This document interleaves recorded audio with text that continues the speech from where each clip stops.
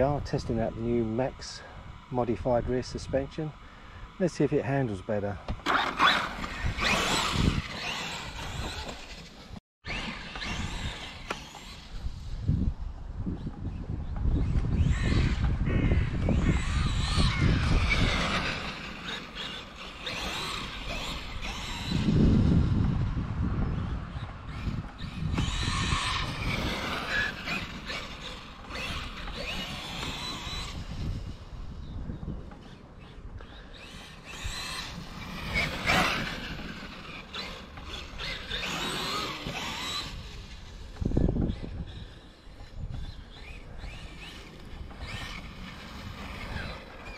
definitely better on the rear, so we'll see how it goes.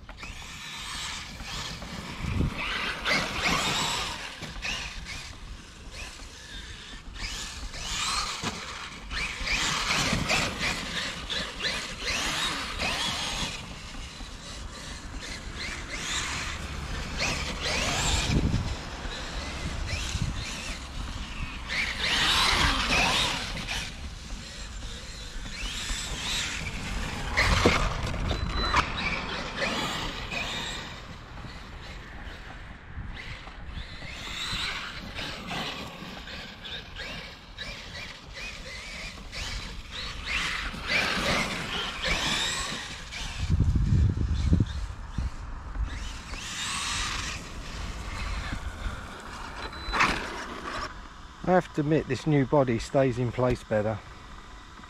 Being thicker it's not popping off the sides anymore